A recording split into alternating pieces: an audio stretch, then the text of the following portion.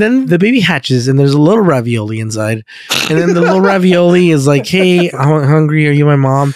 And then it starts suckling at the teat of the Enterprise. This is clearly like a space mammal that is fully dependent on its mother. And they're like, okay, well, we'll just take it to where it was going. And that's like, we've killed its mother, but Like for all we know, the fellow adult calzones just killed the baby as soon as they got to it. Yeah, yeah, yeah. Yeah, or put it to make Nikes. Like they're making Nikes.